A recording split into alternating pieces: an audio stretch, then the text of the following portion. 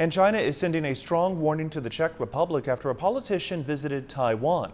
China's Vice Foreign Minister Qin Gang urged the Czechs to observe the One China principle, describing it as the foundation of ties between the two nations. This week, the Czech Senate Speaker led a de delegation to the island designed to boost business links.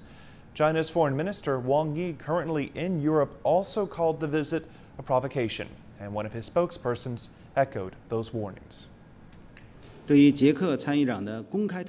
Regarding the public provocation of the Czech Senate Speaker and the anti China forces behind it, the Chinese government and the people will not just sit back and watch.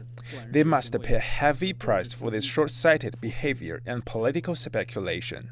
We urge relevant parties in the Czech Republic to take immediate measures to eliminate the adverse effect of this wrong act and avoid harming the overall situation of the relations between China and the Czech Republic.